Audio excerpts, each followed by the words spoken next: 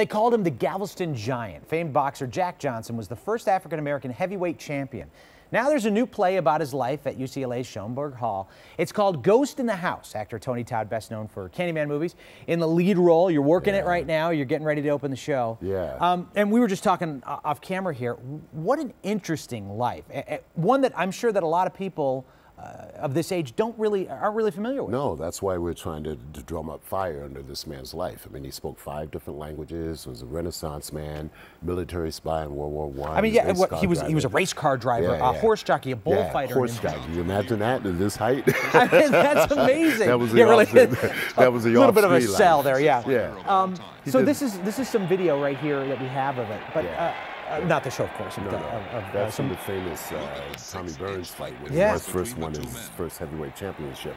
And you say he was the oh he was the most famous African American in the yeah. world at the time. Most photographed. Most photographed. So African American, white, otherwise. Really? Yeah, yeah, yeah. I mean, that's amazing. Amazing. He loved the camera. He loved. He was a showman. He was a musician. You know, nightclub owner. Considering he was coming out of he was born shortly after the Civil War. Exactly. Both his, his parents, parents were slaves. slaves.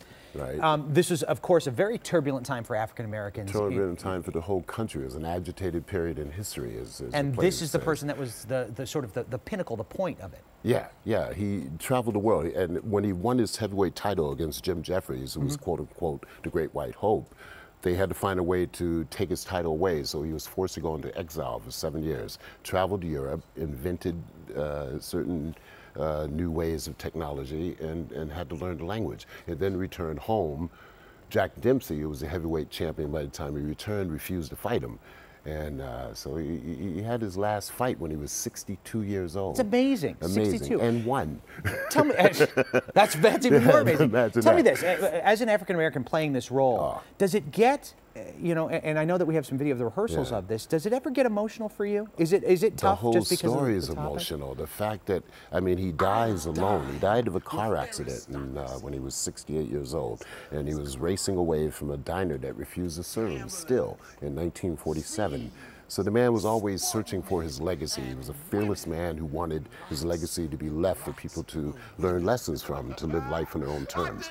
We have an amazing cast. Eileen Shu, who's a terrific violinist, and uh, pianist uh, Kincaid Walker, uh -huh. and Deanna and Nicole Baxter are the women that sort of drift in and out of his life and uh, support his story. Fantastic. And the yeah. theater scene here, just supporting what a great theater scene we have here in, in Los oh, Angeles. Oh my God, just to be able like to do this. And we're going to be traveling the country and heading to Broadway. And, uh, you know, fortunately my day job allows me to, to do that. Huh? Yeah, yeah. So Tony, thank you so much, man. Thank you for uh, You can us. catch Ghost in the House tomorrow through Sunday at Schoenberg's, uh, Schoenberg Hall at UCLA.